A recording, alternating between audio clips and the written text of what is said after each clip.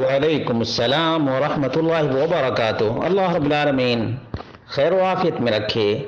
سوال ہی اہم ہے کہ سیام داود کے بارے میں تو سنا ہے اور آج معلوم ہوا ہے کہ قیام داود بھی ہے، تہجد داود بھی ہے۔ کہ داود علیہ صلاۃ و تسلیم کس طرح سے قیام کیا کرتے تھے، تہجد ادا کیا کرتے تھے۔ اس سلسلے میں صحیح بخاری میں ایک ہزار ایک سو اکتلم میں ایک ہزار ایک سو انسٹھ نمبر کی روایت ہے۔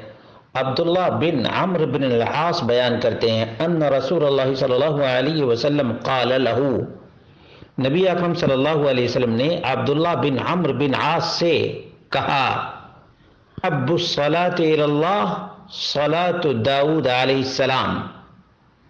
سب سے بہترین، محبوب ترین اللہ کے نزدیک نماز داود علیہ صلاۃ و تسلیم کی نماز ہے۔ وہ احب السیام اللہ سیام داود اور اللہ کے نزدیک سب سے محبوب سیام روزہ داود علیہ السلام کا روزہ ہے۔ اور اس کی کیفیت یہ ہے، قیام داود کی کیفیت دیکھ لیجیے۔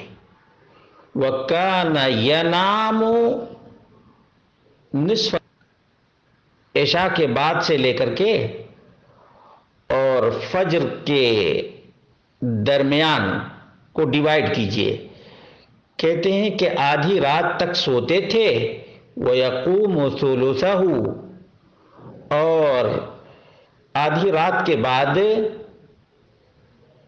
پھر تہائی حصے میں قیام کرتے تھے، تہجد پڑھا کرتے تھے۔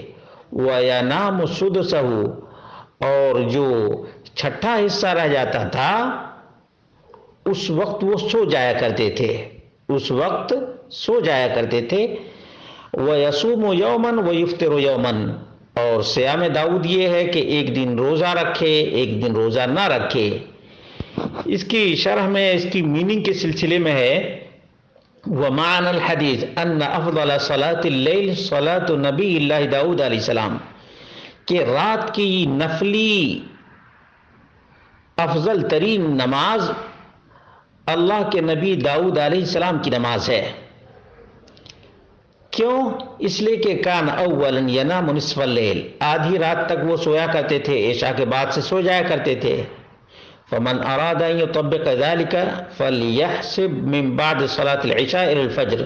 جو اس کو اپنے اوپر تطبیق دینا چاہتا ہو، اس کو عشاء کے بعد سے شمار کرنا چاہیے فجر کی نماز تک۔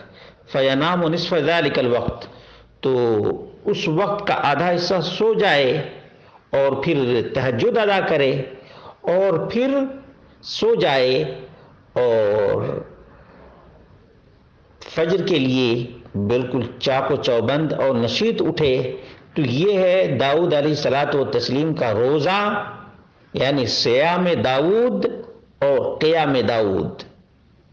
یہ ظاہر سی بات ہے، فرض نمازوں کے بعد افضل ترین نماز نفلی نماز ہے اور اس کا نام قیام اللیل ہے یا تہجد ہے۔